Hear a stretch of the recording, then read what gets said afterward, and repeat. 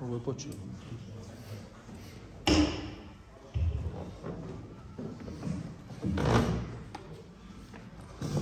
Bismillah. Draga braće, poštovane sestre i majke, assalamu alaikum. E, na samom početku moram kazati da mi je pripala iznimno velika čast da najavim našeg večerašnjeg gosta, nama rado gosta koji je već nekoliko puta bio kod nas. Ovo je naše posljednje predavanje u 2023. godini, pa je možda prikladno spomenuti hadis Allahovog poslanika sallallahu alaihi wa u kojem kaže dijela se vredniju prema završnici. Pa mi smo pozitivci zadovoljni da evo na našem zadnjem predavanju ove godine imamo priliku slušati našeg uvaženog doktora. Na samom početku sada ću nešto malo iz biografije e, kazati o doktoru, a onda ćemo najaviti temu i prepustiti riječ uvaženom doktoru. Doktor Nezir Halilović rođen je 1977. godine, profesor je metodike islamske vjeronauke, religijske pedagogije i metodologije naučnog istraživanja u vjeronauci na Islamskom pedagoškom fakultetu Univerziteta u Zenici i voditelj odjela za islamsku vjeronauku u upravi za obrazovanje i nauku Rijasata Islamske Zenice u Bosni i Hercegovini i član je Svjetske unije islamskih učenjaka. Doktor će govoriti shodno svim današnjim dešavanjima i okolnostima na jako bitnu temu, a to je tema pouke iz bitke na Hendeku, bitke u kojoj su svi bili protiv muslimana. Riječ sada prepuštam našem uvaženom doktoru, doktoru Bilo. Hvala Harse. Bismillah. Bismillah, veselatu, veselamu ala Rasulillah. Neka je slava i hvala Allahu Đelešanu, gospodaru svjetova i neka su salavat i salam na njegovog miljenika, odabranika, najboljeg čovjeka koji ikada hodio zemljom našeg dragog pejgamber Muhammed ali salatu wasalama, njegovu časnu porodcu, prijatelja sahabe, sve oni koji su slijedili, slijedi, slijedeći islam do sudnjeg dana, zatim Esselamu alaikum wa rahmetullahi wa barakatuhu, cijenjeni i dragi prijatelji, pozitivci u ovom prelijepom gradu Cazinu. Hvala vam na pozivu i meni zaista i čast i zadovoljstvo evo što sam sa vama, što se ovo naše druženje jeli, iz godine u godinu tako nastavlja, iz kojeg se iskreno nadam da izlazimo bogatiji, plemenitiji, sa novim idejama, sa novim spoznama i tako dalje. Evo nisam ni bio svjestan da je meni pripalo posljednje od ovih ovogodišnjih predavanja i na meni je velika obaveza da opravdam ovo vaše prisustvo ovdje i da ako Bog da kad izađete iz ove sale, a i toliko predavanja, da budete zadovoljni što ste svoje vrijeme odlučili potrošiti ovdje i sada. Zašto ova tema? Zašto priča o Hendeku? Zašto priča o Ahzabu? Ne Azabu, pošto mi znamo, Azab, stalno se žalimo na neke muke, probleme, teško je. Vi vidite da je kod nas najčešća riječ koja se spominje, jo, teško je, jao vidite što radi muslimanima, jao vidi ovo, vidi ono. I vi vidite da nam se uši konstantno pune negativnostima. Je li teško muslimanima? Šta mislite? To je pravo pitanje. Molim vas, ako imate, osjetite potrebu da se javite ili da kažete nešto za vrijeme izlaganja, molim vas, ja sam onaj otvoreni predavač, odnosno izlagač, vaš brat, prijatelj, ovdje smo da komuniciramo, otvoreno, bez problema, E zato ćemo noćas pričati o Hendeku. Ako tražite tačku, kada je najteže bilo Allahovom poslaniku Muhammedu ali i salatu wasalamu i ashabima, u kompletnom njegovom životu i kompletnom njegovoj misiji, onda je to bitka na Hendeku. Nećete naći težu situaciju za umet, za muslimane, za muslimansku zajednicu od te tačke. Bez obzira koliko mu je bilo teško kada mu je umrla voljena supruga Hazreti Hatidža, kada je izgubio podršku, kada mu je umro i Amidža Ebu Talib. Koliko god mu je bilo teško, Koliko god mu je bilo teško na bedru kada je učio dovu, učeći Arabi, ako sada ova grupa bude uništena, ne znam ko ćete više obožavati na zemlji, jer i on bio u toj grupi vjernika na bedru. Znate li razliku između bedra i hendeka, jahzava? Znate li koja je razlika? Ogromna. U bitci na Bedru borbena formacija muslimana, borbena jedinica je bila van grada, daleko od grada i ratovala na neutralnom prostoru. I da, postojala je realna mogućnost, postojala je realna opasnost da muslimanska jedinica na čelu sa glavnokomandujućim, na čelu sa pejgamberom Muhammedom ali salamom, bude izbrisana, izbrisana sa lica zemlje. I to je bio cilj mušika. Da sa lica zemlje izbrišu prvo tu jedinicu, pa će poslije toga izbrisati Medinu. To je njihov plan bio s kojim su krenuli u bitku na Bedru. Ali na Hendeku, znate šta se desilo na Hendeku? Došli su na kapije grada. Došli im do kućnih vrata. Sa vrlo jasnim ciljem da sa lica zemaljske kugle izbrišu i Muhammed a.s. i muslimane i islam i da sve bude poravnato sranjeno sa licem zemlje. Dakle, ovaj cilj koji je bio postavljen desio se samo u bici na Hendeku na takav način. Čak i Uhud bio manje kapaciteta, ni na Uhudu oni nisu imali snage da cijelu Medinu poravnaju i toliko su bili sigurni u svoj podvig da su spremili vojsku od 10.000 vojnika. Ali da prije toga razjasnimo kako je došlo do toga. Vi znate da se u Kur'anu spominju dvije stranke. Imate Hezbollah, Allahovu stranku, to su vam Allahovi ljudi, to su ljudi halita Allahove na zemlji, to su ljudi vjernici, cijelim srcem i bićem oni su usmjereni ka Allahu Đelešanu, svom gospodaru. Imate Hezbo šeitan. Ovo je dijelo kuranskih ajeta. Šeitanska. To su ljudi koji šire mržnju. To su ljudi koji žele zločin. To su ljudi koji siju loše ideje. Bitka na Hendeku došla je iz glave jednog zlikovca. Ne Dobrice Čosića, ne Franje Tuđmana, ne naših osoba iz našeg okruženja. U vrijeme Muhameda ali salama, kao molim vas, ovo je važno da zapamtite, u svakom vremenu gdje postoje muslimani, postoje zlikovci koji nose genocidne ideje spram muslimana. Nemate vremena bez tih likova. Samo je pitanje koliko su moćni da usmjere svoju snagu i da, da probude mržnju. E ovaj lik je Hujeji ibn Ahtab. On vam je bio poglavar jevrijskog plemena Benu Nadir. Zašto je zanimljiv? Hujeji vam je zanimljiv zato što je znao opis Muhameda ali salama prije nek što je došao Muhammed ali salam u Medinu. On je čitao Tevrat i u Tevratu je bio opis Muhameda ali salama tako precizno napisan. Dakle, u Tevratu koji su oni dočekali, da Kur'an kaže da poznaju poslanika kao što poznaju svoju djecu. E vi među stotinama drugih insana, kad vidite svoje dijete, odmah ga prepoznate, tako vam je Hujeji prepoznao Muhammed salama, nama, čim ga je vidio, njemu je bilo jasno. A čim je došao Muhammed ali salam Medinu, Hujeji vam dolazi pred Muhammed salama i vidi to je to. Vraća se ovamo, bratu, i brat ga pita, kaže, jel on? Kaže, jest. On je Allahov poslanik. Kaže, pa hoćeš ga slijediti? Kaže, nikad.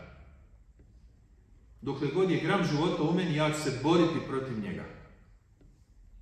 Jel čitate sjeme mržnje?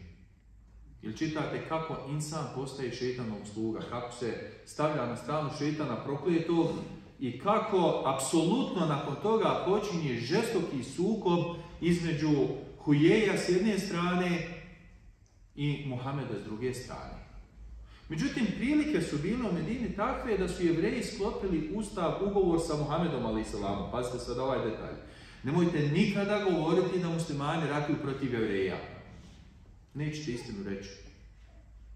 Mohamed Ali nije nikad ratovao protiv jevreja. Sad ćemo spominjati neke detalje, ali on nije ratovao protiv jevreja.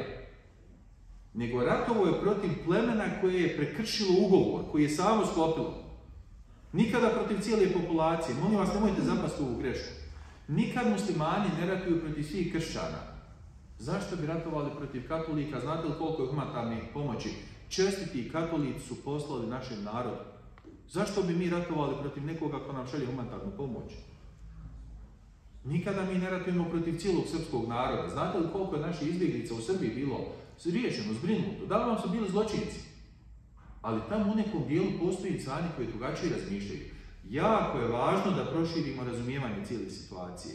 Huje je bio poglavar plemena Benu Nadir, koje je na svoju ruku odlučilo da prekrši ugovor s muslimanima i s Muhammedom ali salamom. Znate onaj čuveni događaj oko pijace kad su ubili onog muslimana pa je onda došlo do sukoba i Muhammed ali salam im je dao priliku da napuste Medini i on se preselio u Hajber i oni su riješili problem Benu Nadira, ali ostala su druga jevrijska plemena u Medini, molim vas vodite računa o tome. Između ostalih ostalo je pleme Benu Kureiza, nedirnuto, niko ih nije dirao, nikakvih problema muslimani nisu imali sa Benu Kureizom. Benu Nadir prekrši ugovor, da mi recite, šta se dešava kad vi uzmijete kredit, recimo od banke, pa odlučite da prekršite ugovor? Ili kad naručite nešto kupite nešto, naručite pa kažete ja se predomislio. Šta se dešava kad prekršite ugovor? Moraš platiti sankcije, brate, brate. Posljedice idu. Pleme Benu Nadir prekršilo ugovor, posljedice su bile da su morali napustiti Medinu, ali ih niko nije dirao. Otišli su u Hajber, ali, molim vas, nemojte nikad zaboraviti zločinac ne mijenja način razmišljanja. Jednom zločinac za ovih zločinaca. I ovog morate biti svjesni. Hujej nije se mogao smiriti, nego iz Hajdara dolazi do Kurešija, do Ebu Sufjana i počinje sijati mržnju sprem Muhameda ali salama i muslimana, govoreći kako se njihov broj stalno povećava, kako je samo pitanje trenutka kad će oni doći u Hajber, kako su oni opasnost, kako su jevreji sad ugroženi, kako su Mekelije ugrožene. Jel razumijete? Širi propagandu. Jel se sjećate propagande 92. Muslimani će biti većina, ovo će biti muslimanska republika, džemagirija, Potpuno isti obrazci funkcionisanja. Molim vas, najvažnije da pratimo u našem kontekstu obrazce funkcionisanja. Toliko je mrzio Muhammed a.s. i muslimane, da uopšte nije želio da bude u prvom planu, da bude postavljen za vojskovođu. Njemu je bilo samo važno da pokrene vojsku protiv muslimana. I uspjeva nagovoriti Ebu Sufjana da pokrene novu vojsku. 4000 vojnika dolazi iz Mekke, mušika, Dolazi do plemena Benu Gatafan. Gatafan, veliko, veliko arabijsko pleme, stotinu hiljada boraca ono ima. I njima kaže, slušajte, ako napadnete Medinu, daću vam trećinu uroda kurmi iz Hajbera. Ovi su ljudi ratnici, pazite, njima je, njima je ratovat ko vama lopte za igrati, futbala. Što ne bi napali pleme, malo ratnog plijena dobili, malo se proslavili, vodite računa, Arapi nikad nisu, se nisu imali slavu u zlatu, u bogatstvu. Njihova slava je bila uspjeh u podvizima, ratnim operacijama, dogodovštinama, znate? To je njima bio ponos, dobar konj, dobra sablja, dobra akcija, da se ima o čemu pričati i tako. I diže plemen Benu Gatafan sa 3000 vojnika. Dolazi do plemena Ešđa i od njih uzima 300 specijalaca dolazi do plemena Benu Sulejm i od njih diže 700 boraca. I još 2000 dobrovoljaca sa strane i ha, 10.000 vojnika Arapa se ujedinjuje sa zadatkom da dođe do same kapije Medine, do zidina Medine i da zbriše Medinu sa lica zemaljske kugle, da pobiju sve muslimane unutra, žene da uzmu za roblje i djecu da uzmu za roblje i da Medinu izrišu sa lica zemlje. Ovo vam zvuči poznato, jel tako? Sad me pitam, je li vam dosadno? Možete da ubrzam, da usporim? E, meni treba povratna informacija. E sada dolazi suština naše priče. Muhammed Ali Salam nije spavao kao što mi spavamo. Muhammed Ali Salam nije bio bezbrižan kao što smo mi bezbrižni. Neće biti rat. Muhammed Ali Salam je znao za pokrijete neprijateljskih trupa i za ovu aktivnost prije nego što je Ahzab došao do kapije Medine. Vodite računa o tome. I vrlo mi je važno da znate informacije o pokretima dušmana. Muhammed Ali Salamu u bici na Ahzabu, dakle u bici Ahzaba na Hendeku, nije donio Melek Džibril, nego muslimanske obavještajci. Molim vas, nemojte očekivati da će Džibril i Meleci raditi poslove koje naši momci moraju raditi. Prije nego čime je vojska krenula, čim se počeli grupisati, Muhammed Ali Salam već dolazi konjan i kaže Boži poslaniće dolaze. Ima informacije. E sad se čuvajte. U ovim situacijama Muhammed Salam ne priča o Mesiji i Deđalu. Muhammed Salam ne priča o zločinima u Ruandi, šta se dešava u Ruandi, kako ubije ljude širokih noseva, uskih noša. Jel razumijete? Je li vam jasno koliko naše glave puni informacijama od koje nema nikakve koristi? Nas se ne tiču. Muhammed Salam prati informacije koje se njega tiču. Njega i njegovog naroda. Da, braćo moja sestra u islamu, u Gazi je preteško. U Gazi se užasne stvari dešavaju. Ali prije Gaze svako od vas ima jednu obavezu. Znate li koju? Bosnu. Divno je to što mi pratimo, što se osjećamo. Ali Gaza nije vaša nadležnost. Imate puno preča posla u svojim kućama, u svojim avlijama, u svom gradu, u svojoj državi. I nemojte prodavati svoju državu za probleme koji jesu problemi, ali nama nisu u, na mjestu broj jedan. Možda se ne slažete samo, ali je vrlo važno da razmislite koja je vaša zona nadležnosti, direktne nadležnosti, pazite. To je Muhammed Ali Salam demonstrirao u bici na Hendeku. Vašim jedinicama je bilo preteško ovdje za vrijeme agresije na Bosnu i Hercegovinu. Bilo vam je preteško slušati kako su užasne borbe bile na koridoru. Srce vam se cijepalo dok ste slušalo šta se dešavalo u Srebrenici. Šta ste vi tehnički mogli uraditi da pomognete našoj braći i sestrama u Srebrenici? Šta ste mogli uraditi? Ništa. E zato, kogod vam kaže, treba ići, treba skakati, malo, malo, čekaj. Halo, saberi se. Imaš svoju zonu odgovornosti, razmisli o tome. Zona odgovornosti Allahovog poslanika u tom trenutku jeste Medina, zato što van Medine vi nemate više muslimana. Nije, nije. Sve što imate muslimana, to vam je u samoj Medini i Allahov poslanik, ali salatu salam, blagovremeno dobija informacije i onda ide vrlo simpatična situacija. Užasna je to informacija. Dolazi 10.000 zločinaca sa genocidnom idejom, molim vas. Genocidna ideja. Izbriši grad, pobiji, pokolji, porobi, siluj, popali. Jasna ideja. Muhammed a.s. nikada nije bio umišljena sveznalica.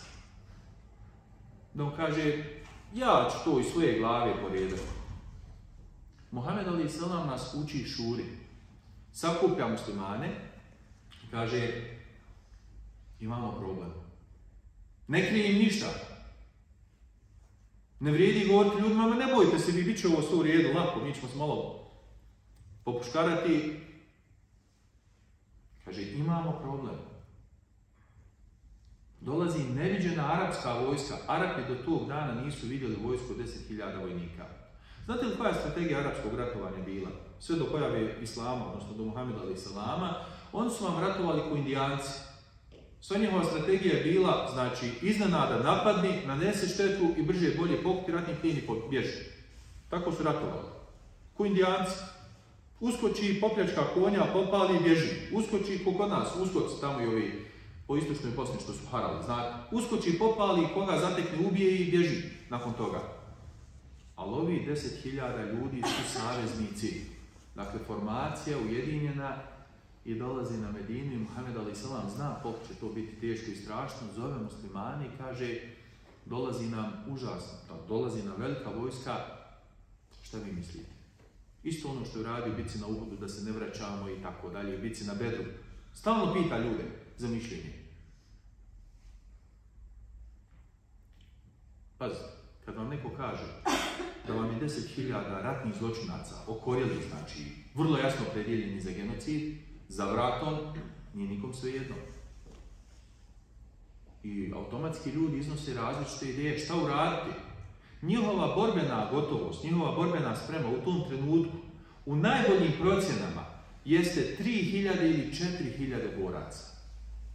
Maksimum, dakle da mobilizira sve ono što može noć nositi, jer imate žene, imate starci, imate djecu, ostatak su dakle, ljudi civili koji ne mogu ratiti.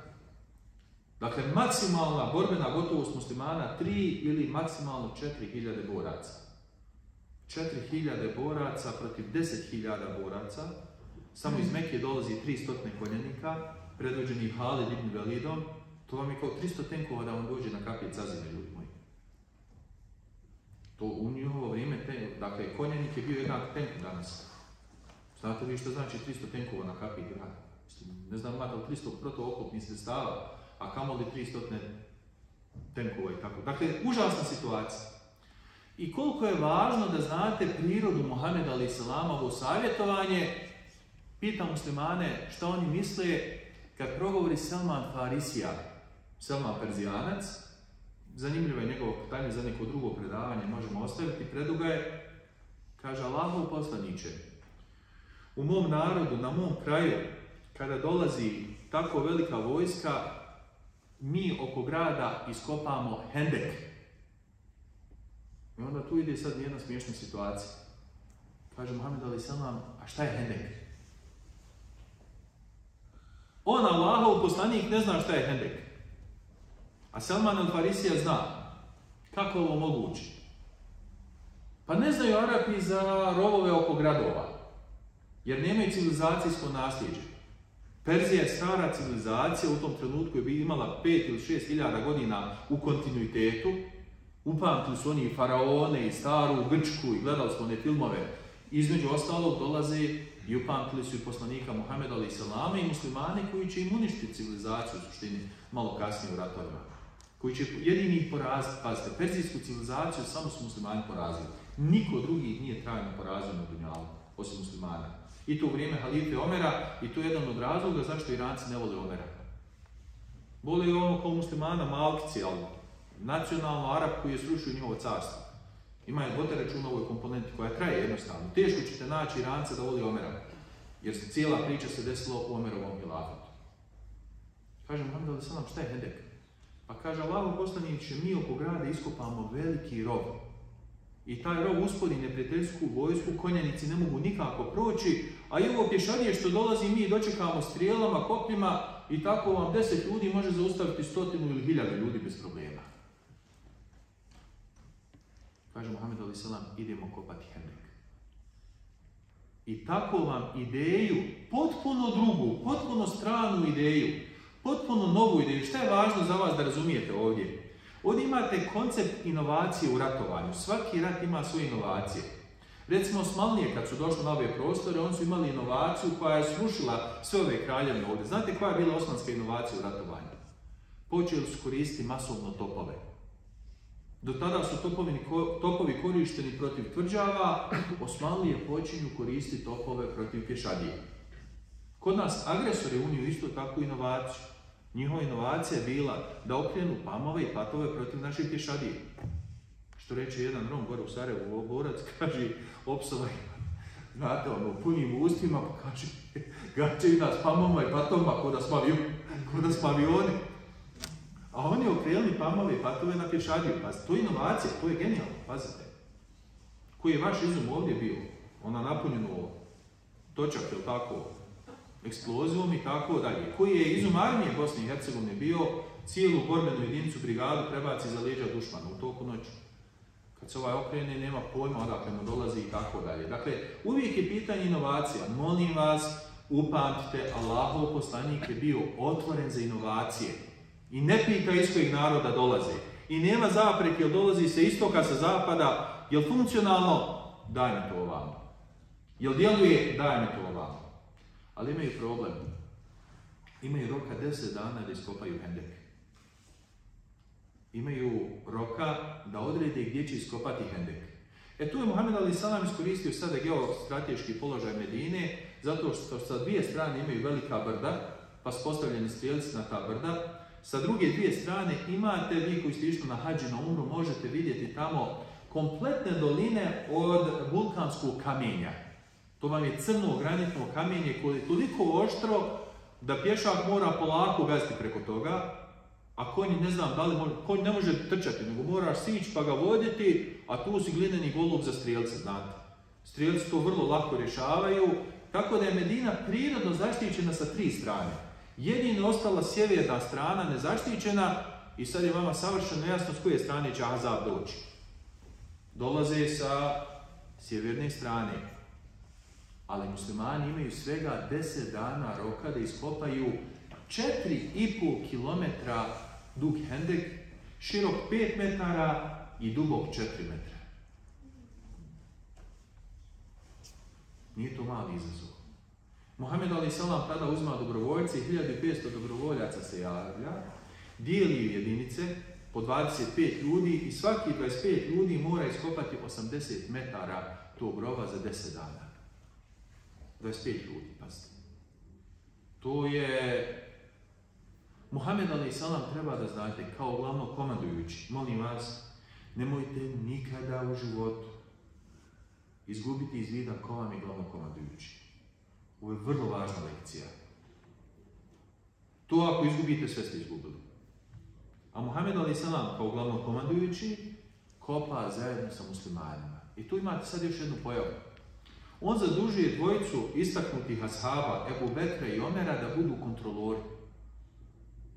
Oni imaju zadatak da obilaze cijeli hendek 4,5 km koliko se kopa hendeka, da oni fino lijepo prate da li je svugdje hendek jednako širok i jednako dubok.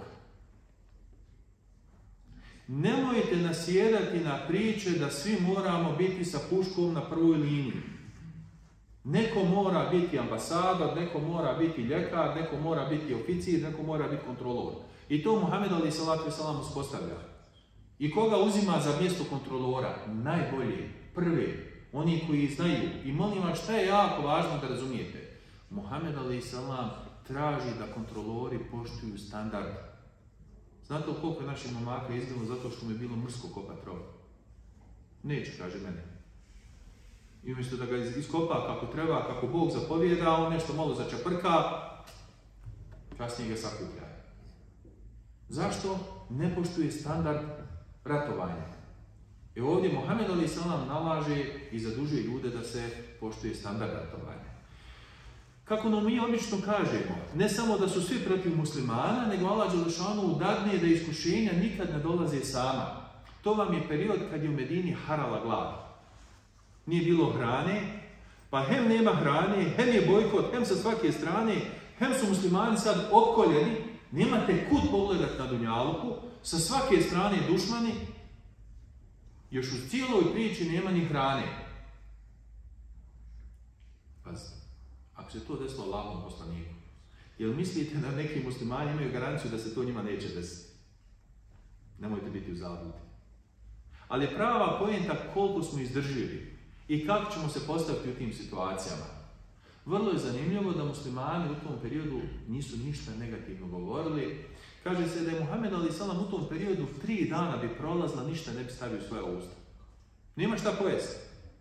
Kaže se Muhammed Ali Salatu Salam bi tada toliko kopaj zajedno s muslimanima silazi u rob i kopaj bi hendek, da uveče kad dođe kući svoje hazrete ići, samo sam što spusti glavu u njeno krilo, automatski zaspe. Ono što mi kažemo pao od umora. Naš poslanik, Allahov poslanik radi i nema opterećenja. Jasno mu je to. Da se malo nasmijete. Tu situaciju kad je Muhammed Ali Selam od umora svezu kamen na stomak da pritisne zato ono želdac, da crijevo, da, da, da želdac stijenka jede drugu stijenku da utali glad, Džabir ibn Abdullah primijeti to da je Muhammed Ali Selam zavezao kamen na stomak. Dođe svojoj supruzi i kaže, Boga ti imamo ništa za jesti. Kaže, ne znam, jedino imamo ono jedno malo jare, da njega zakoljemo i nešto malo hljeba ima, pa to kaže, može biti tebi, meni i našoj djeci za večer. Molim vas, jako je važno da se sa, sa suprugama dogovaramo o svim stvarima, pogotovo onim koji se njih tiču. tiču. A vidite kako naš poslanik uvijek se dogovara, odnosno u ovom slučaju ashabi naučili od poslanika, od poslanika ali. Kaže on njoj, a šta ti misliš da ja zovem Muhammed ali salama da pozove Ebu Bekra i Omera i pa da on jedu umjesto nas ovu hranu. Žao mi ga, kaže, ima zavezu od stomak, znate, kamen na stomak, žao mi ga i srpit će se. Nisam vam rekao, u tom periodu Muhammed Ali Salam ima 58 godina.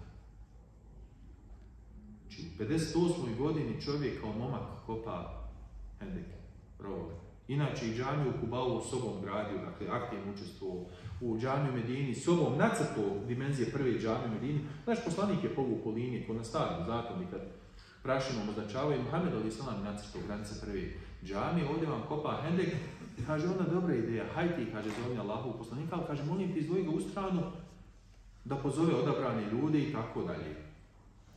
Jel znate koliko teško je našim vojnicima padala informacija da ovi u komandi se slade i jedu janjetinu dok oni nemaju šta jest na liniji?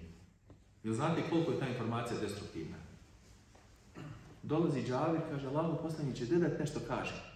Zagnije se i šapće, kaže, slušaj, moja supruga te je pozvala na večeru, kaže, pa de molim te pozovi uh, Ebu Bekra i Omera ili to koga ti hoćeš od ovih ljudi, pa hajde meni burum kod mene na večeru. Dakle, on prodaje Muhammedu a.s. ono što su, nažalost, veliki broj naših ljudi radio, nesvjestan koliki haos pravi. Naravno, naši komandanti nisu imali ono što imao Muhammed a.s. Tada Muhammed a.s. ustade, kaže, narode, o muhađiri, o ensarije, evo Džabiri i njegova Hanumana zovu sebi na večer. on to čuo, noge mu se ocekle. Ima hranje za dvoje, troje, tu stotinu ljudi oko njega čuje taj poziv, u to vrijeme stotinu ljudi kopa hendek. Ljudi kao mašala, super, skočiše stotinu ljudi. Jadni Džaber nije napisao niti je rekao kako mu je bilo doći do kuće. Kad je došao do kuće, stotinu ljudi ne može ući u kuću kako treba. Kad je došao do kuće, šta će reći ženi? Kad je žena vidjela dolazi stotu ljudi, pa kaže, Džabir, sam ti rekla? Kaže, jesi. Pa jesi rodi, jesam. Pa kaže, Allahu poslanik, molim vas. Naš Muhammed salatu wasalam nije bio neka mirnica. Jer vidite, bio je šaljivđija sa Damarom, on čuje šta on govori, ali on ima svoj stav i zna šta hoće uraditi. Molim vas, ne ste Damara u živote, nemojte samo ono povučen, isključen, ni za šta, brate, dragi naši neki naši muslimani ni za šta. Dolaze oni tu,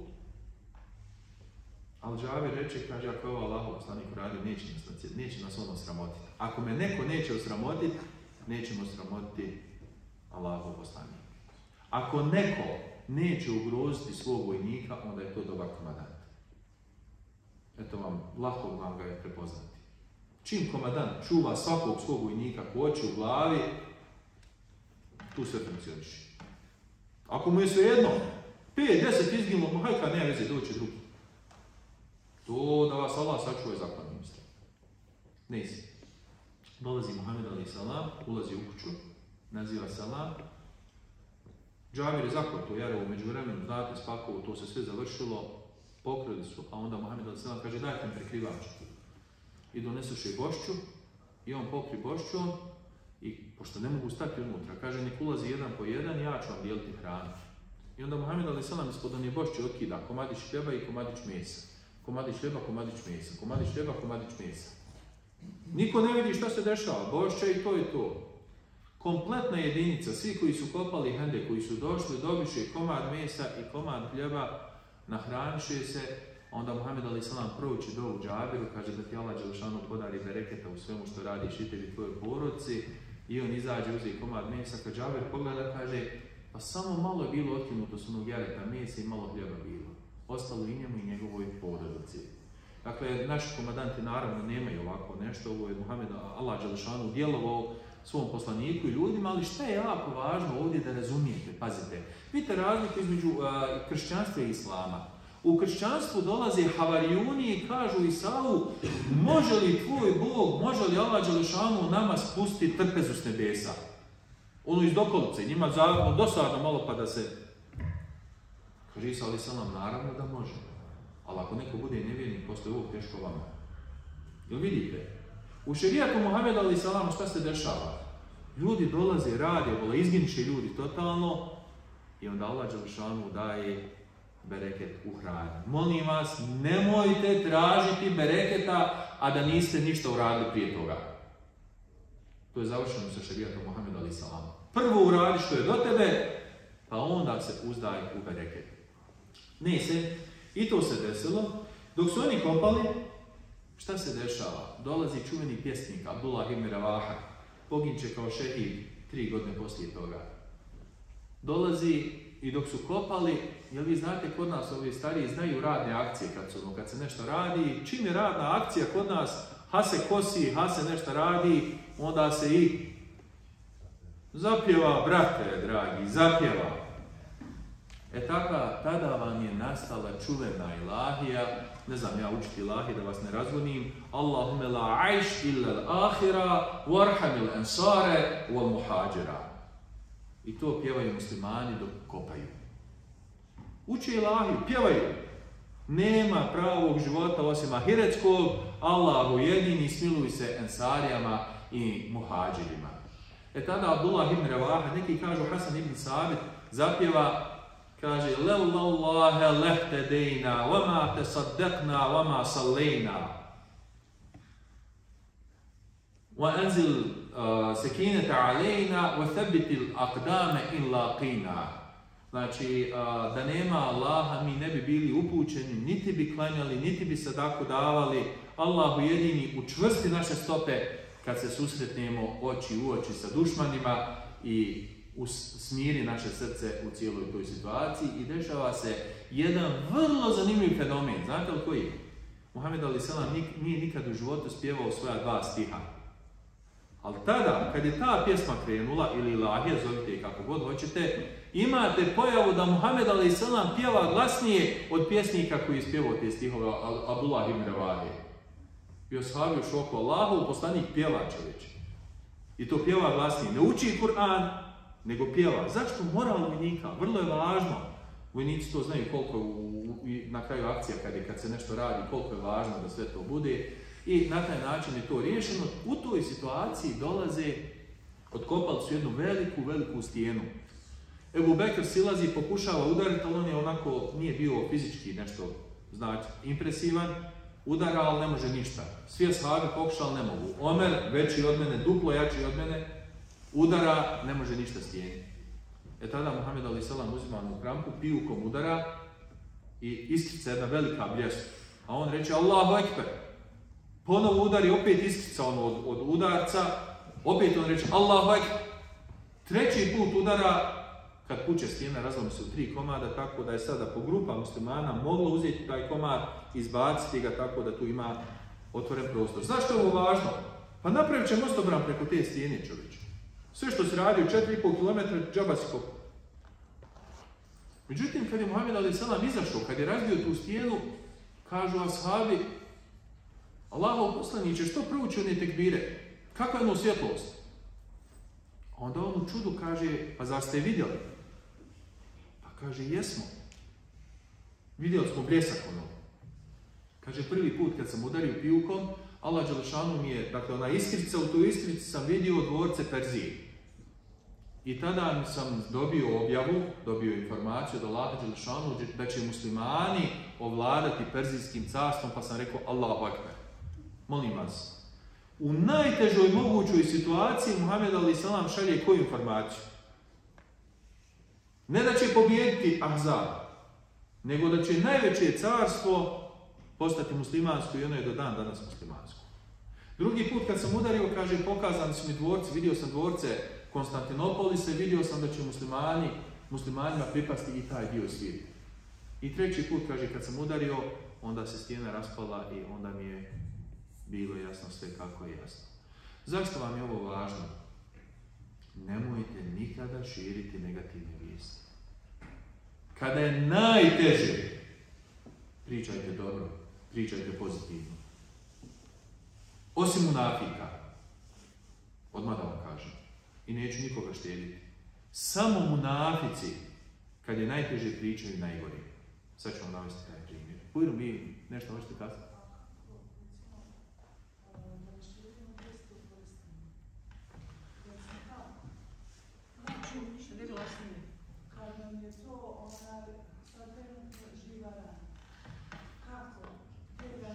Podsjećam vas na Srebrenicu koja se dešavala u vrijeme dok ste vi bili u potpunom okruženju.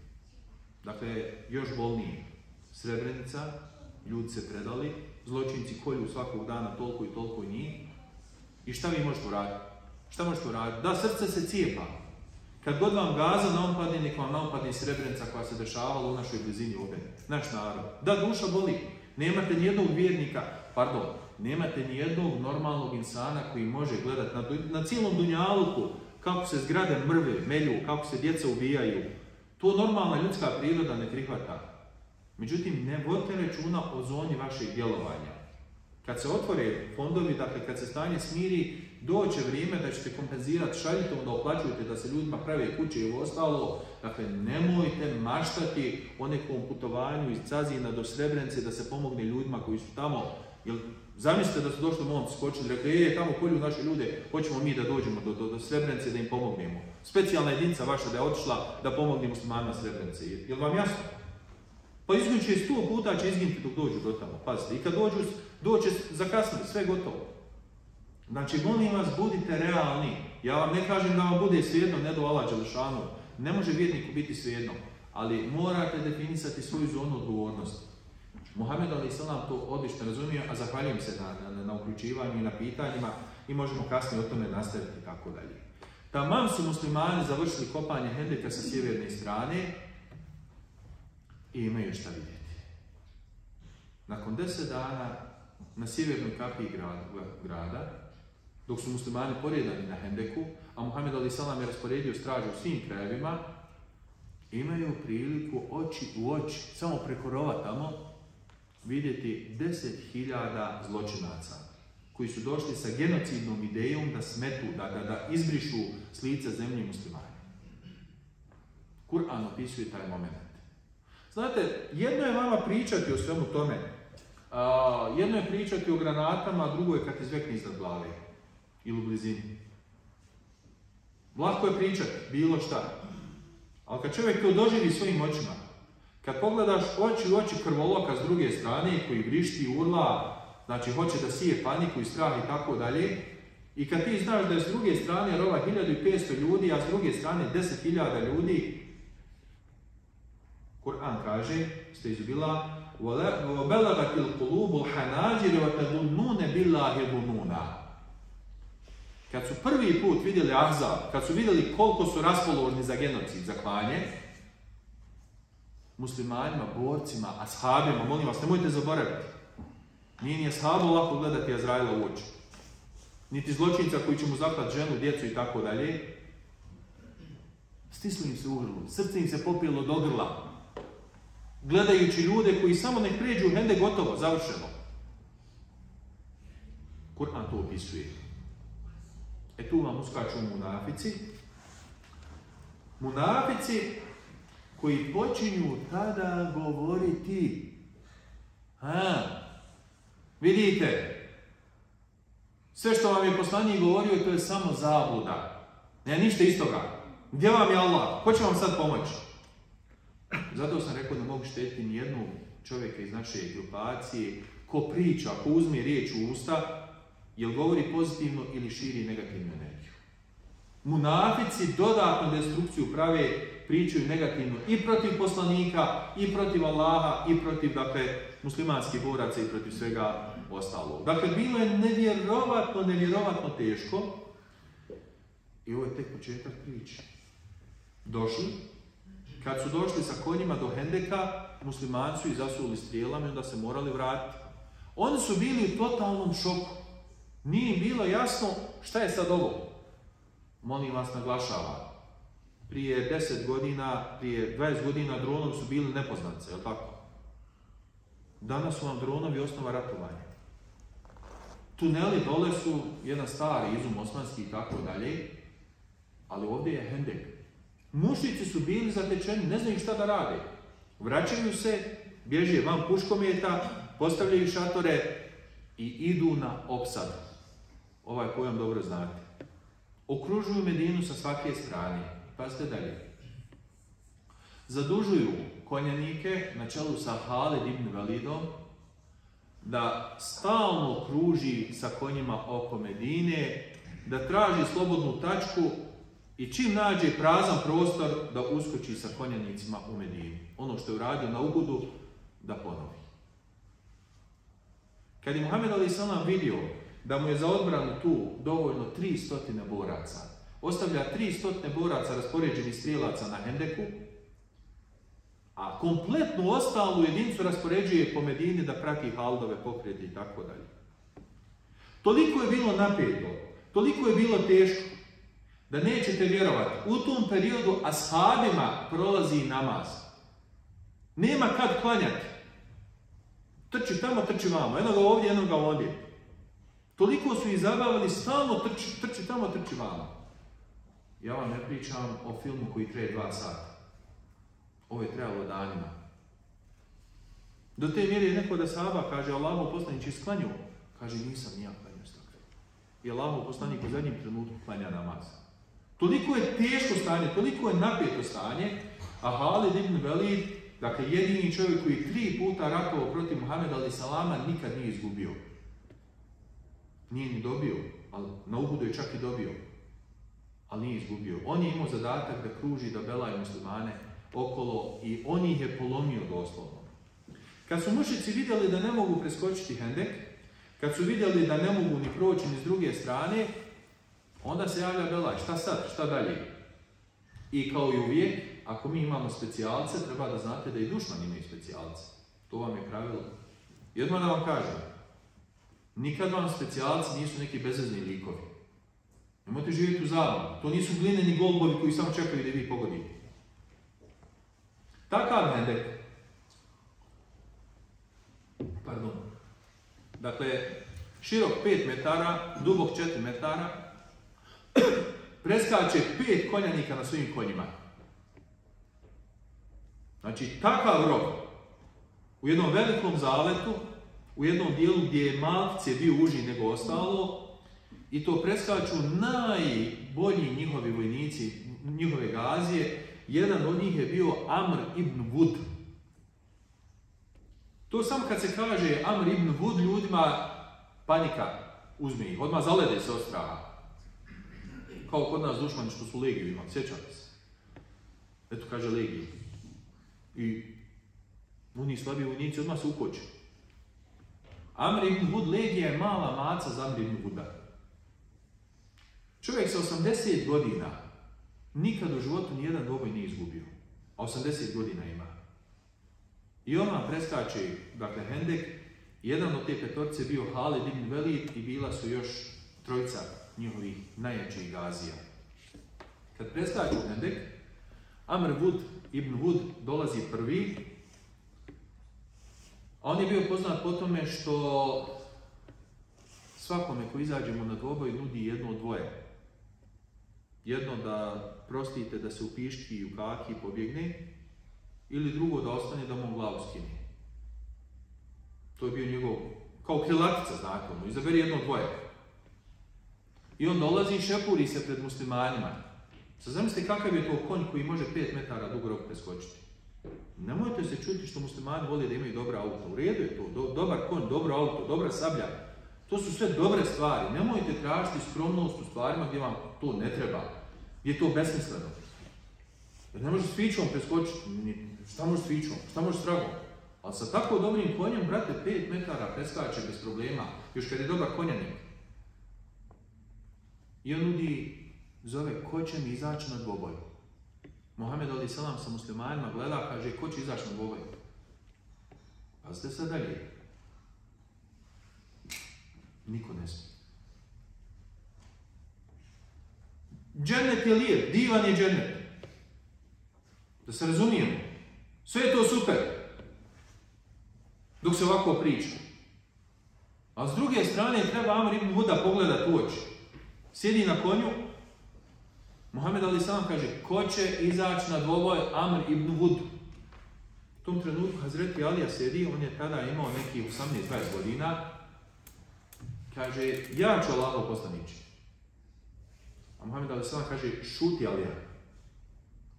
Hazreti Alija nema ozbiljnijeg vojnog okršaja do tada, pazite, nema dvoboja. On je bio u bici na Bedru, on je bio u bici na Uhudu, pazite, on, on zna šta je ratovanje. Ali znate da nije izašao u bici na Bedru on prvi. Ali u bici na Bedru je poginuo Muhammedov ali salam Amidžić, Ebu Ubejdi. U bici na Uhudu gine Muhammedov Amidža, Hazreti Hamza. Sad u bici na Hendeku, trećoj bici Hazreti Alija hoće da izađe na dvoboj Amr ibn Hud. Muhammed Ali Salam pita drugi put, ko će izaći na dvoboj? Ashabi, dženetlije, neće niko. Ne smije. Realno. Pošteno. Nemojte ih kriviti. Ne biste ni vi ustali. Garantujem vam. Treći put, kaže Hazreti Ali, ja ću Allah poslaniti. Šuti Alija sjedi. Ne da Muhammed Ali Salam da momčić izgine, bola. Šta, šta vam je? Ne, ne može on kao komadan pustiti momka u sigurnu smrt. Treći put Muhammed Ali Salam kaže ko će izaći na ovaj, zafrkava ovaj, provocira, šta je, nema nikog među vama, ovo, ono, ovaj dženet, čemu vrijedi, šta je ovo, zar jedna ne čekate da uđete u dženet, kako, znate kako provociraju? Treći put opet Hazreti Alija kaže, ja ću Allahu postati. Šta ćete uraditi? Kaže, Alija, može, ovaj, ovaj te može ubiti. Ubit ćete ovaj. Kaže, neka Allahu poslaniče, pusti me. Nemojte izbjegavati momcima u punoj snazi, dakle 18-20 godina, to je zlatno vrijeme energije, pustimo da se pokaže. I kaže, izlazi Hazreti Alija sa onom svojom čuvenom sabljom Zulfikarom, ne znam da li imao kako treba i sandale na nogama, čizme i tako dalje. I sad Hazreti Alija istupa pred Amir ibn Buda s jedne strane, ovaj na konju. I ne gleda ga Hazreti Alija uopšte. A ovaj ga zafrkava, kaže, ko si ti? Da znam koga ću ubiti, čije ću se krvi napiti. Jesam vam dosadio? Hajde slušam. Kaže ovaj, ja sam Alija, sin Talibov. Kaže, slušaj dijete, ne kaže, obriši to mlijeko s mamine sise što ti je ostalo ovdje na kraju usana. Su on nevjerovatni retoričar, pazite, dakle, on, on kad ti govori, to je sjeće u kost. Ne kaže, obriši to mlijeko s mamine sise sa usana, još ti je ostalo tu, kaže, ja ne mogu miješati mlijeko i, mami, i tvoju krv i mamino mlijeko, vrat se tamo, kaže, pošaljite mi nekoga koje mene dostoja. Kaže, znam ti babu, ne mogu, mislim, babo, ti umro, ne mogu ja, čečuću, da tebe ubijam. Ali ja ga ne gleda. Ne kaže, uzeo mu svoju sablju dole oko nogu, samo ovako povlači sablju. Kaže, što se mene tiče, ja tebi nudim jedno dvoje. Jel ti ovo poznato? Sad ovaj u šoku. Ono njegovo oružje ko on koristi protiv svih, ali ja koristi protiv njega. Kaže, kaže, šta to mi nudiš? Pa kaže, nudim ti da kažeš ešhedu an la ilaha illallah, ešhedu ene Muhammeden abduhu resuluhu, da prihvatiš islam i bujrum ti je ovdje sa nam dođi na našu stranu, pridružnam se. Kaže, Allaha mi nikada. Kaže, onda ti nudim drugo. Onda se kaže, povuci fino, lijepo, ko kako pašće, bježi nazad, dok se nisam krvi napio. I onda on toliko se razljutio, i ako hoćete dobar recept u ratovanju, razljutite neprijatelja. Da počne mržnjom ponašati se i djelovati. On se toliko naljutio da je skočio sa svog konja i to konja koji skače preko 5 metara, kaže ne želim da te ubijem s konja, reče da sam te ubio zato što sam bolji u poziciji, kolje tako skupo konja, ubija ga i uzima mu krv i maže po svom tijelu sav krva, ko viking, gledali ste u vikinzima to. Vidjeli ste da su one neke naše budalne, ne znam kako drugačije rekao, zaklali janjad, gdje smo došli namazali se krvi. I to su svi svjetski mediji prenijeli. To je mušički običaj, ljudi moji.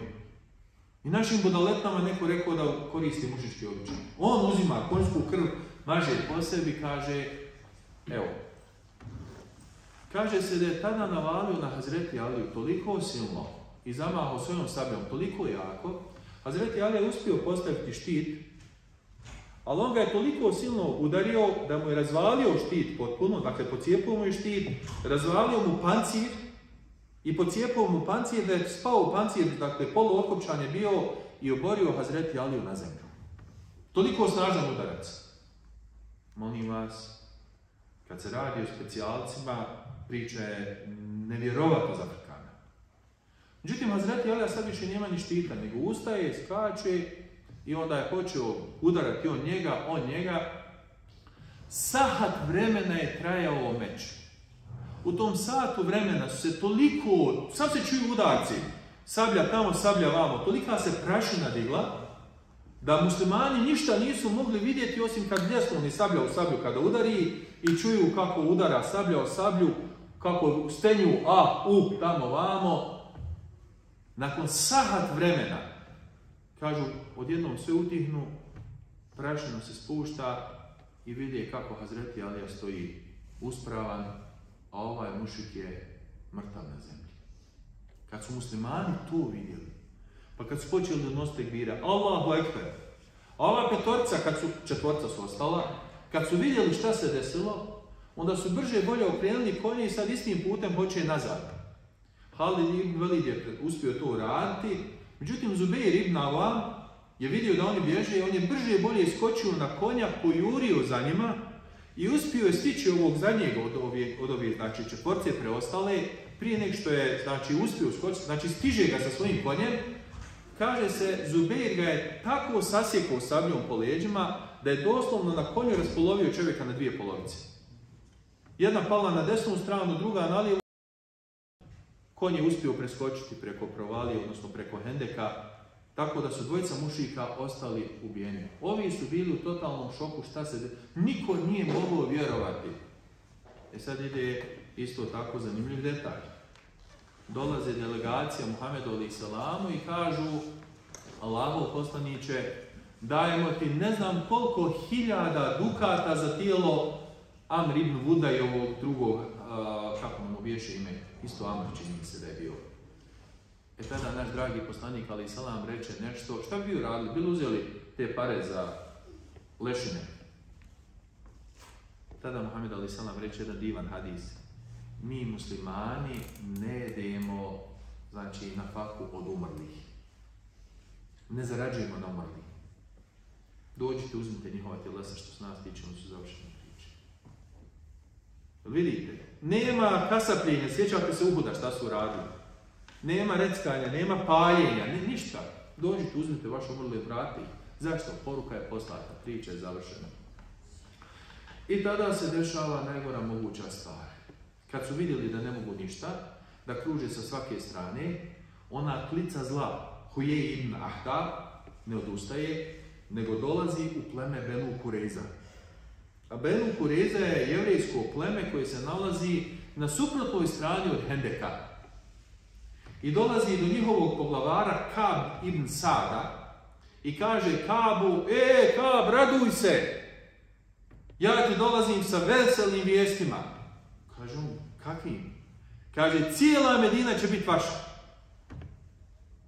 Sve što je u Medini, palmi, kuća i ostalog, sad će muslimani biti pometeni, prekršite, pocijepajte ugovor s Mohamedom i pridružite se Ahzabu saveznicima. Može li gore?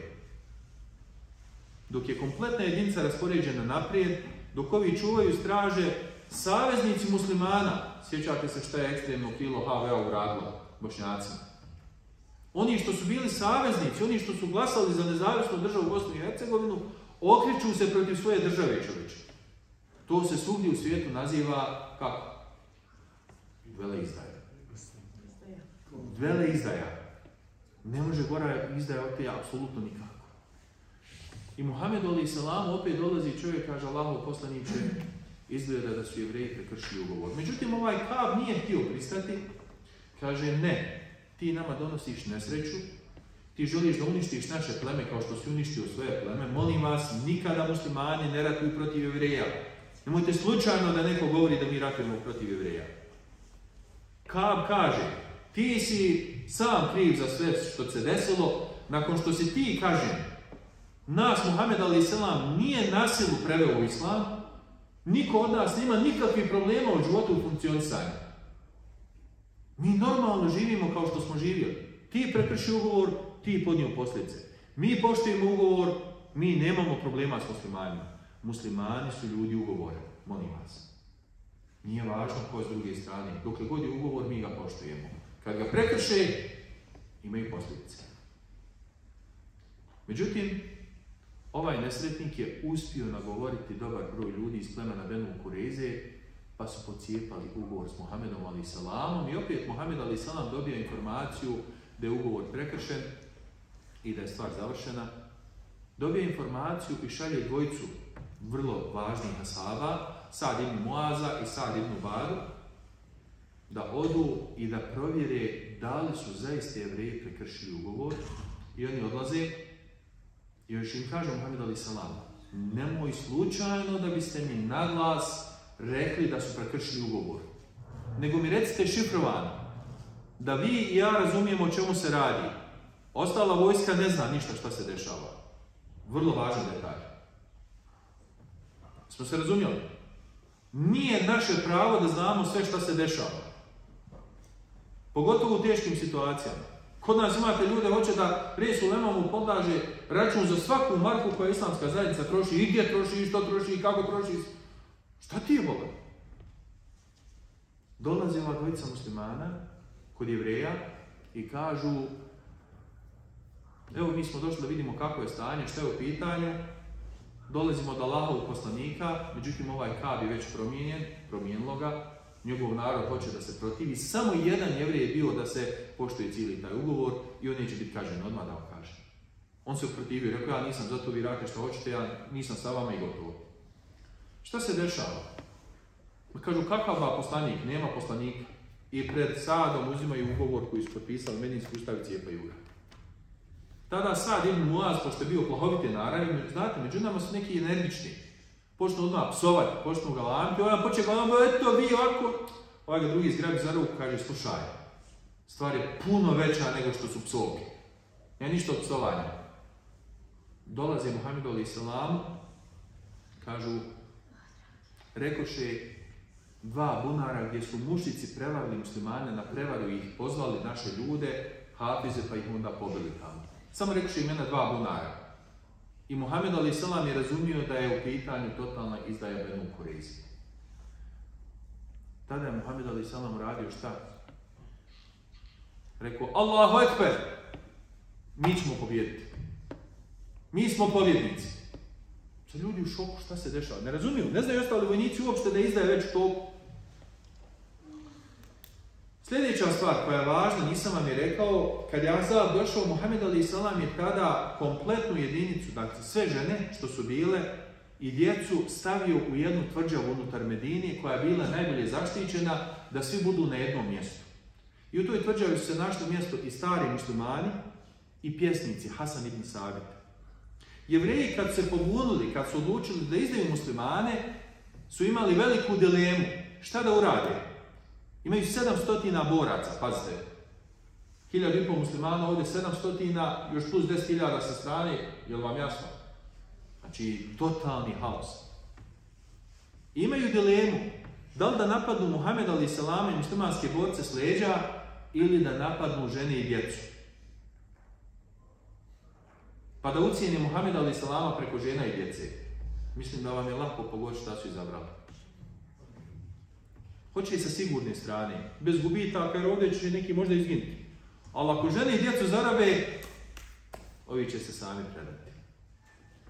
Međutim, nisu znali ko čuva, muslima, da ko čuva žene i djecu unutar toga, pa dolazi jedinica i šalju jednog špijuna da uđe u tvrđavu i da provjeri da se vrati sa informacijama ko čuva muslimanske žene i djecu.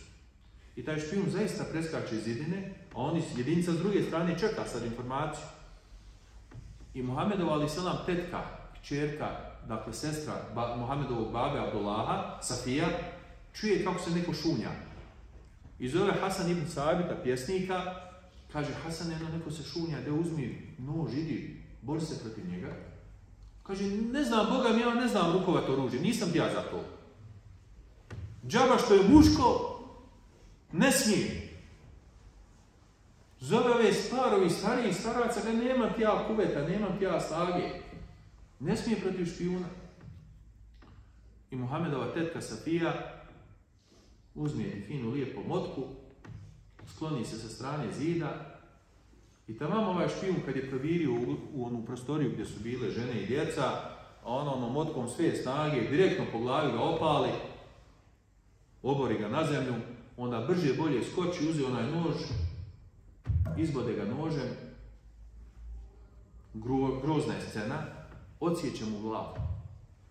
Žena, uze onu glavu, donese do one ograde i baci s druge strane preko ograde.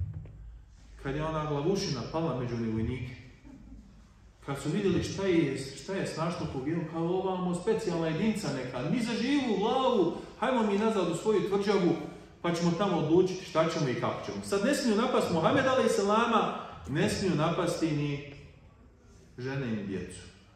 Dakle, prvi šehid u islamu je žena. Najteži dio bitke na Hendeku je uspješno riječen zahvaljujući jednoj ženi. Safiji, tetki Muhammed Ali Salama, ženi u godinama koja je imala skoro 70 godina kad se radnja dešavala, i jevreji se povlače u tvrđavu i ništa dalje ne smiju raditi. Benu Kureza, ne jevreji, pardon, Benu, Benu Kureza. I tada pad pozicija. Straže Benu Kureza u svojoj tvrđavi čekaju naredbu, ovi čekaju napad, Halid veli kruži, Allah posla hladnoću, pa se ljudi smrzavaju još. Hem glad, hem dušmanin, hem hladnoća, hem izdaja sa leđa, hem dušmanin naprijed, i ovo traje 45 dana. Nije film sat ili dva, nije predavanje, oduljio sam, nego 45 dana nevjerovatno dramatične situacije. Nema nikoga, gaza, nema pomoći sa strane. Jedna jedina pomoć je od Allaha. Ali imate i dalje borbene informacije, imate ljude sa zadacima koji moraju raditi svoj zadatak u cijelom tom periodu.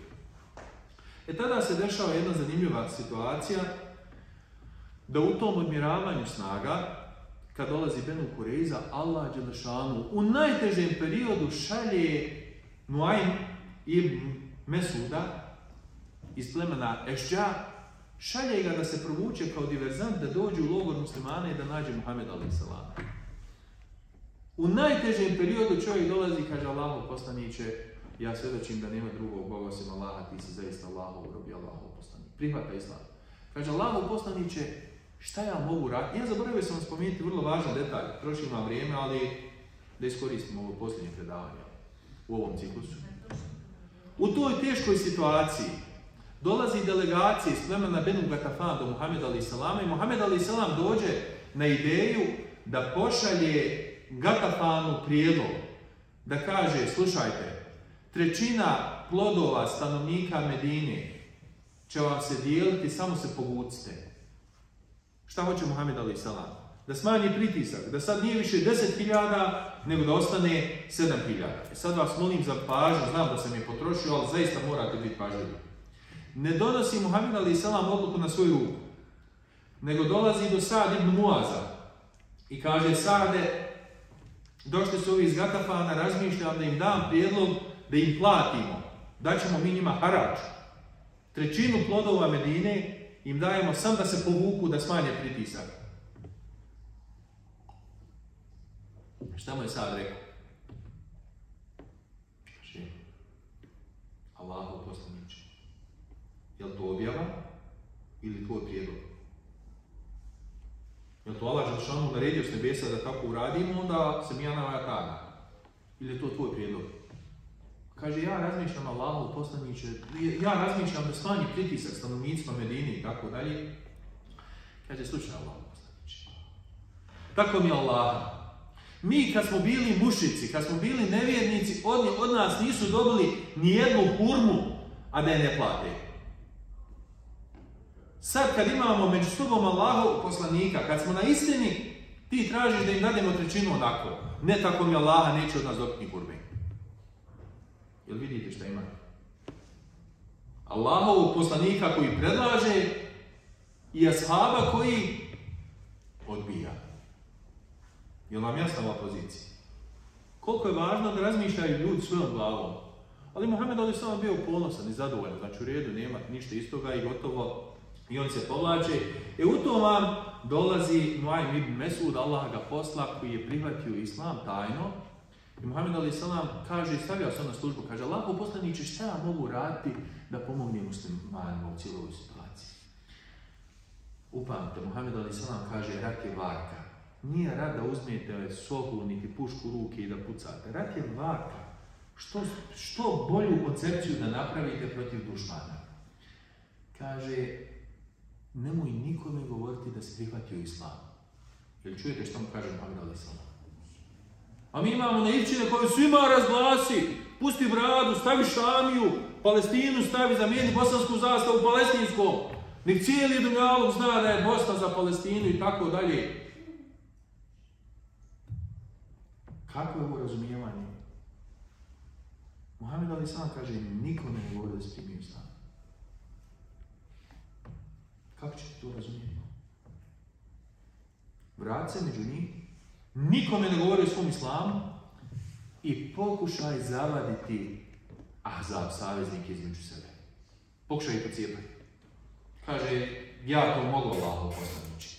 I onako u krišom kako je došao Muajn, kako u krišom se vratio u svoje pleme, musliman u srcu, a mušik u odijelu. U dušmanskoj vojsci. Već je ovo potrejalo, već polako dosadlo, zima, odmiravanje, gađaju se oni strijelama, ali nema mrtvih. Nema, par ranjenika je bilo od strane muslimana, jedna od strijela pogodila sad Ibn Muaza, ovog o kome smo govorili, i to pogodila ga u arteriju na ruci, tako da Muhammed Ali Salam je spržio znači, tu ranu, a krv je probila, pa spržio ranu drugi put, pa krv probila, pa treći put, i onda mu je bilo jasno da će da je neizlječiva, da je smrtna rana, arterija jednostavno krvari, pa smo napravili šator u poslaniku i džami i molim vas, liječila ga je žena. Či žena strankinja je dirala muslimanskog borca svojim rukama, nije bilo, uh, gluho bilo. Molim vas, pred Muhammedom ali salamom se stvar dešava. On odobrava to. Šta se dešava? Dolazi ovaj Nuaym, kaže, Abu Sufjane, meni se čini da će nas Benu Kureze izdati. Kaže, čuj, što to misliš? Ma kaže, ne znam, oni su rekli da će biti sa nama, obećali su nam pomoć, ali ne napadaju ni Muhammeda ni muslimane. Nego stoju u svojoj tvrđavi i čekaju da mi napadnemo, mi čekamo njih, on ne nas. Kaže, i ti provjeri kod njih. A on, pošto se znao sa njima, sarađivo, trgovao, dolazi u Benu Kureza, kaže, slušajte vi, moji ovi komadanti ovam su vrlo sumnjičevi, što vi ne napadate Muhammeda i muslimane, što čekate više? Pa kaže, vi imate više snage, vi prvi napadnete. Pa kaže, znate šta, ovi moji komadanti se boje da ćete vi izdati nas, da ćemo mi napast, pa ćete vi nas napast, pa onda nas nema nigdje. Kaže, nećemo, nismo mi istoga, nema ništa istoga. Kaže ono, slušajte vi, ja ne znam šta će biti sa vama, ali eto, pazite, mi napali, ne napali, mi kad se povučemo odavde, vas 700.000 osta protiv Muhameda i muslimana, šta će biti sa vama, ja pojma nema. Kad ovi iskontaše tada, kaže, stvarno, ovi su u pustinji bola. Samo je pitanje dana kad će dići šator i otići. A ovim su kuće tu, oni su ugroženi. Ko ovi naši nesretnici što su izdali znači svoju državu i onda izgubio i kuću, sve živo izgubio ga. Ovaj je dobrovoljac došao, prošao, boli ga briga. Ovaj je ga poslušao, sve živo zjanio. Nije razmišljao. Kaže o njima, daće vama jedan prijedlog. Kaže, gdje reci? Kaže, da bi vi bili sigurni da oni neće otići dok ne poraze Muhameda i muslimane, ja vama predlažem da vi tražite deset kurešija, deset poglavara, deset oficira, neka budu garancija sa vama u plemenu da neće otići vojska dok ne porazite Muhameda i muslimane. Kaže, kako nama to ranije nije naopako? Mi smo saveznici. Njima je svejedno li biti na onoj strani ili na ovoj strani. Neka i sa nama. Kaže, to je super ideja, zdrava ideja, dobra ideja. Ste razumjeli? Daj nam deset generala, nek budu sa nama u Benu Kureiza, kad dođe do napada, komandovat će odavde, nije problem. Ne tražimo sve, samo deset. I dođe Nuajm u do Ebu Sufjana, kaže šta je, kako je stanje? Kaže, Boga mi Ebu Sufjane ne valja ništa. Ništa ne valja. Što? Kaže, šta je reći? Pa kaže, čovječe, oni su u dogovoru s Muhammedom ali da vas nasamari. Oni samo čekaju da vi napadnete, pa će vas oni s onda napasti i kaže, vidi ćeš da će ti tražiti deset komadanata, jer Muhammed ali salam im je tražio garanciju da se pokajao. I oni traže deset komadanata od nas, da im mi damo, on će te ljude pobiti i njihove glave će biti garancija Muhammedu ali salamu da se pokajali da su i dalje na ugovoru. Ste razumjeli? Kaže mu Sufjan, nemoguće, nema ništa isto. Kaže, živ bio pa vidio. Kada on to završio, vraća se na svoju poziciju, kad eto vam ljudi iz Benu Kureza kažu, Ebu Sufjane, imamo problem. Vi se možete lako povući, mi smo ovdje. Ovo je loš savez, daj nam deset ljudi ovam ko garanciju, ne komanduju iz našeg centra, iz naše tvrđave. Kako on to reče, Ebu Sufjan vidi da Noem govori istinu. Jedan vi recite, ko bi od vas bio dobrovoljac u toj poziciji da ode u to, kad znate da sigurno vam glava ide s ramena. Kaže, ma nema ni govora o tome, mi to nećemo. Kad ovi nisu dobili, onda vidi, kaže, oni su stvarno prekršili ugovor i Benu Kureza se onda još više zatvorilo u svoju tvrđavu, a ovi vide da više ne mogu proći sa svojim jedinicama iz pravca Benu Kurezi. Savez je pukao. Molim vas, nemojte za živu glavu dozvoliti da vas odvoje od centralne komande. Jesu vas odvojili, znate da ste izgubili bitku. Sjećate se babe i haosa koji je nastao. Sjećate se cijelog haosa. Nemojte dozvoliti da vas odvoje od islamske zajednice. Nemojte dozvoliti da vas ikada odvoje i od jednog centra. Za živu glavu, koliko god da je teško stanje, da su loši komandanti sve u redu, ništa nije loše kao što je loše kad se ocijepi ljudi. Kad se raspadne sistem. To vam je najgora moguća situacija koja, koja se može zamisliti. Pazite, koliko god je ovo ostalo loše, ne želim u to uopće da ulazim. Najlošiji scenarij je kad ljudi se isključe, kad okrenu svojim pravcem i ovdje tikva pukla između Ahzava, Kureze i ovim. Jedan čovjek je napravio veći efekat nego cijela brigada koji je napravila. U tom stanju Allah daje da se pojavaju teški vjetrovi, velika oluja, zato se u Ahzabu kaže da je u bici na Hendeku Allah Đelešanu sam porazio vojke, vojsku Ahzaba. Allah Đelešanu šalje na njih ledene vjetrove. Oni su već iscrpili zalihe hrane koju su sa sobom. Vjetrovi su im čupali šatore. Životinje bježe. Bog jedini zna. Vi znate da životinje vide meleki i tako dalje. Insani ne vide. Rasipaju se, trče, bježe na cijeli haos. U toj cijeloj situaciji Muhammed a.s. još samo dva detalja, šalje Huzeifu ibn Jemana kao diverzanta. I kaže Huzeife, uđi u neprijateljski tabor, noć, mrtvoj noći, i javi mi šta se dešava tamo. I pazite sad na ovaj detalj. Nemoj slučajno da budeš otkriven. Samo mi javi, molim vas, uputstvo je više nego jasno. Izvidi stanje i donesi informacije. Ne smiju te otkriti, ne smije niko saznati da si ti u pitanju, niti musliman i ne ubijaj nikoga, maltene. U stvari, ne smiju te otkriti. Nije rekao ne ubijaj nikoga. Huzefa u toku noći, dakle led leden prolazi kroz hendek, puže, ulazi u šator, dolazi, vidi neku vatru, tamo još uvijek stoji velika vatra, ne može vjetar pogasiti. Sjedi sam Ebu Sufjan. Huzefe sablja. Ima oružje. E šta bi naš vojnik uradio da ima Ratka Mladića ispred sebe, da mu je komadant rekao nemoj slučajno da budeš otkriven. A on ga na čistini ima, s mu prišao. I Huzefe gleda šta da radi. Jednim udarcem može završiti i ubiti komadanta. Ali tada ne sluša komando Allahovog poslanika. Radi nešto na svoju ruku. Međutim, Muhammed a.s. rekao izvidi i on izviđa, nije ga ubio. U tom Ebu Sufjan kaže, narode, sakupite se ovdje. i ljudi se sakupljaju. Kaže, neka svako provjeri ovog do sebe, jer je tolika, toliki mrak bio, tolika hladnoća, da niko ne zna koji. Ljudi se sakupljaju, kaže, provjerite ko je do vas da nije neko od muslimana se obacio unutra. E tada Huzeife posta mu njevit, zgrabi za ruku, kaže, ko si ti? Kaže, ovaj, Amr ibn Las. A kaže, dobre. Prije nešto su njega pitali ko si, prije nešto bi se pogubio da se snađe, on pita mušika ko si. Kasnije kad Amr ibn Las postao musliman, ispričao mu ovaj detalj, kaže, on se valio ospije. I kaže, nisam to da ste tako prevario odradio. Kaže, šta ću ti ja, to je tako bilo. Kad je Ebu Sufjan sakupio vojsko oko sebe, kaže, narode, Benu Kureza nas je izdao. Neće se nama ratovati. Mi više nemamo hrane, ne možemo preskočiti Hendek, oni neće izaći iz Medine, mi ne možemo ući u Medinu, ovaj vjetar, vidite šta radi, kaže vi kako hoćete, ali ja odoh u Meku. Jel vam jasno? Šta mislite da ga je Huzefe ubio, da nije poslušao Muhammed Ali Salam? Šta bi se desilo? Mušici bi ostali i Allah jedini zna kako bi se završila bitka na.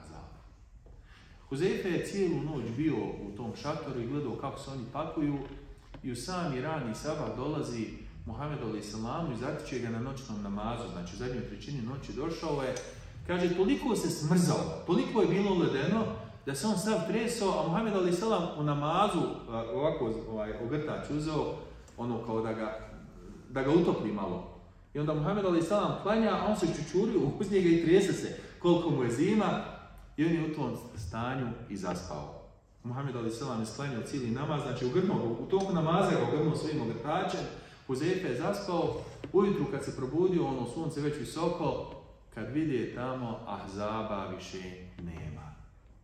Te noći Allah Đelešanu je vjetrom, olujama, nakon nebu Sufjanovih riječi, sve se razišlo, otišlo, muslimani došli tu i tada je Muhammed Ali Salam rekao svoju čuvenu rečenicu. Dakle, molim vas, kad je muslimanima najteže, poslije toga može biti samo bolje.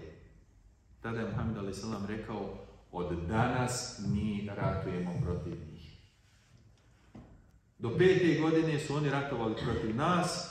Sad kada mi je bilo najteže, kad je žena muslimanka pobjedila, spasla sve muslimane, od danas mi ratujemo protiv njih i zato vam je bitka na Hendeku prekretnica u muslimanskom radu i djelovanju. I ovo su neki od ovih potreba.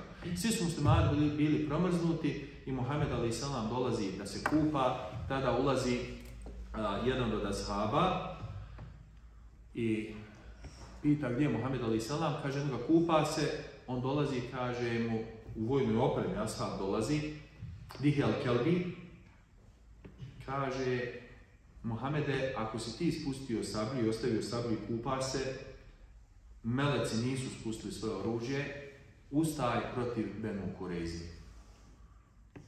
I tada Muhammed Ali Salam brže bolje ustaje i kaže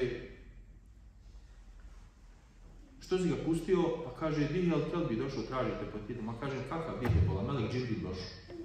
Dao nam naredbu, idemo na Benu Kureze, idemo kazniti izdajnike i tada Muhammed Ali Salam naređuje da se pokrene protiv Benu Kureze i dolaze, opkoljavaju Benu Kureza, traže od njih da se predaju, oni nisu predali, tada kažu predat ćemo se, ali da nam sudi Sad ibn Muaz, ona isti asab koji je ranije, znate, koji je došao kod njih, koji, koji im je psovao i tako dalje, on je molio Allah Đelešanu samo da poživi toliko dok ne vidi da je Benu Kureze kažena i sad Allah daje da on dadne presudu Benu Kureze i onda on rekao svoju čuvenu presudu, vi dobro znate koja je presuda za vele izdaju i u Tevratu.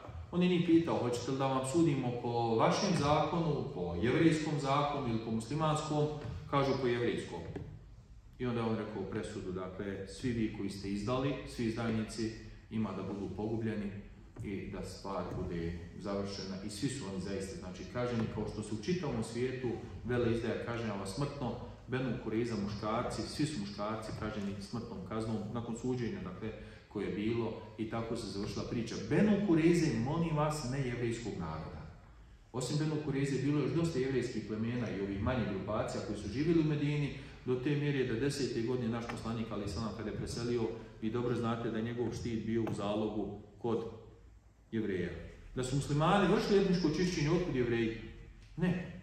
Čak šta više, i nakon Benu Kureze, kada dolazi jevrijski sprovod, kad prolazi pored muslimana, Muhammed Ali Salam tada ustaje, pa ga ovaj jedan ashab prepametni kaže, hej, pa ustaješ on, nije musliman. A Muhammed Ali Salam kaže, a zar on nije ljudsko biće? Zar nije komšijski da ga poštujem, da dodam počast i poštovanje i tako dalje? Dakle, ako su ljudi pametovali Allahovom poslaniku, što se čudite što pametuju svima nama danas? Pa eto da vam Allah Đelšanu podari svaki hajr, da vas sačuva i vas i mene, cijeli naš narod i sve muslimane svijeta i sve dobre ljude, dakle ovih loših stvar, stanja i iskušenja.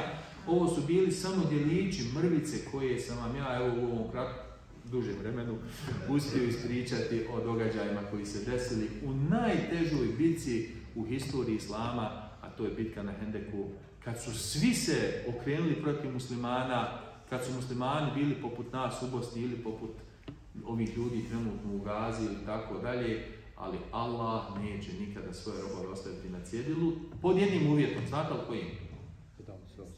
Kad svako od njih uradi sve od sebe u svom dijelu fronta, u svom dijelu zone odgovornosti. Eto, hvala vam. Hvala i. Kao što rekao na početku, djela se vrednuju prema završnici, a završnice nije malo